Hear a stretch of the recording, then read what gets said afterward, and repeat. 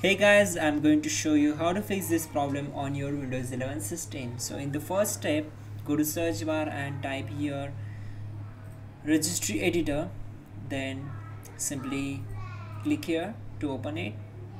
Select as.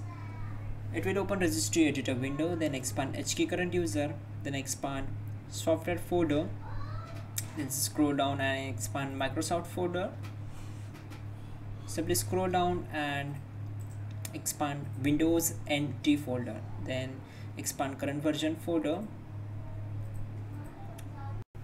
Now select Windows folder and on the right side right click on load. And click on delete. Select as. Once done close this window and go to search bar type here task manager then click here to open it. Now click on run new task click on browse button select this PC and open C drive. Then open Windows folder. Then just scroll down and search for system32 folder. Double click on it to open it.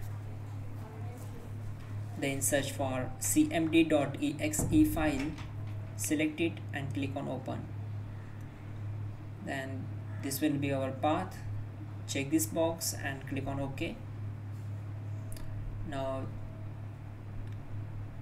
type command sfc space slash scan file equal to c colon slash windows slash system32 slash ieframe.dll then hit enter.